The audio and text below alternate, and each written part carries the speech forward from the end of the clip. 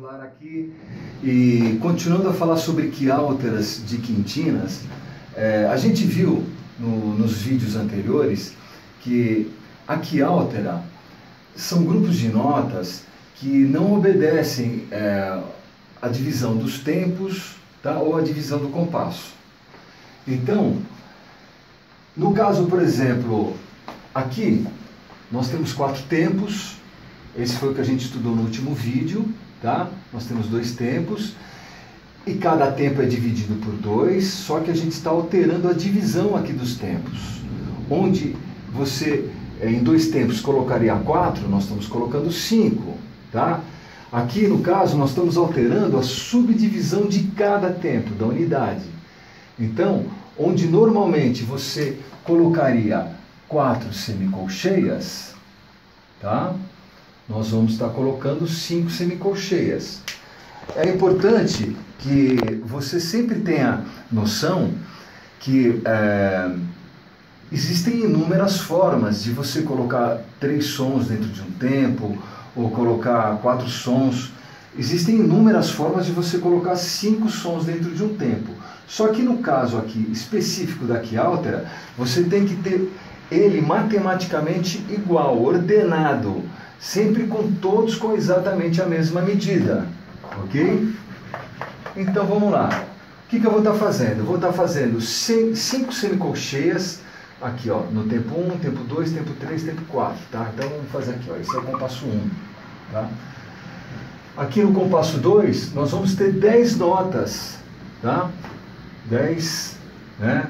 É, ataques aqui na, na quiáltera. Então, entre o tempo 1 e 2 nós vamos jogar 5 notas e no tempo 3 e 4 vamos colocar mais 5. E esse daqui, ó, é um terceiro compasso, tá? Isso daqui, essas duas bolas aqui são duas semibreve, tá? Então, como que nós vamos fazer? Vamos ler esse daqui, depois a gente vai ler esse, vamos respeitar o ritornelo, vamos voltar ao início, ler mais uma vez e terminar aqui, tá? É, terminar aqui na cabeça desse terceiro compasso que está escrito.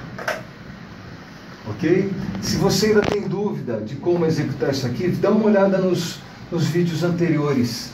Ok? Então vamos lá, deixa eu colocar no andamento 60. Ok? Eu vou contar 4, tá? E vou, a princípio eu vou fazer solfejando, tá? 1, 2, três, quatro.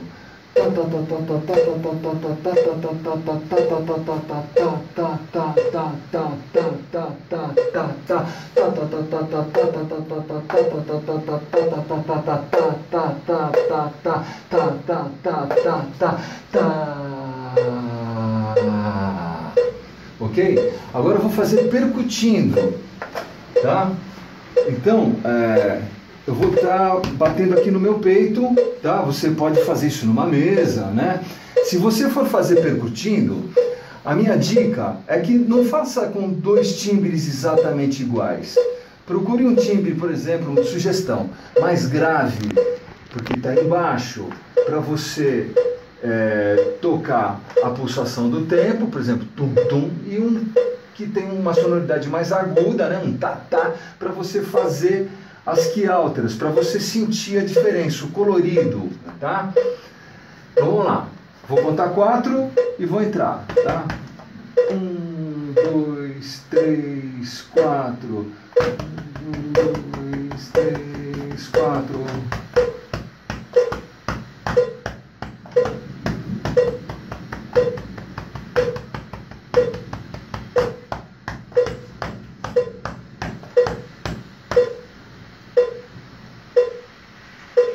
Ok?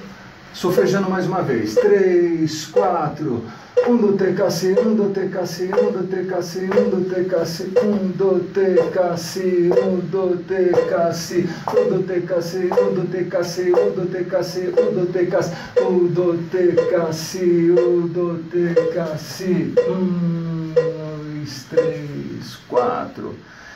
É isso aí. Se você está curtindo, se você está curtindo essa série, que é um pouco diferente de aulas, é, dá um curtir, Tá? Se quiser deixar algum comentário, é, deixa um comentário, se inscreve no canal e aguarde o próximo vídeo aí. Vamos estar tá trabalhando em cima disso aí, fazendo algumas coisas, variações, porque há inúmeros tipos de variações que a gente pode fazer sobre esse tipo de que altera, ok? Grande abraço!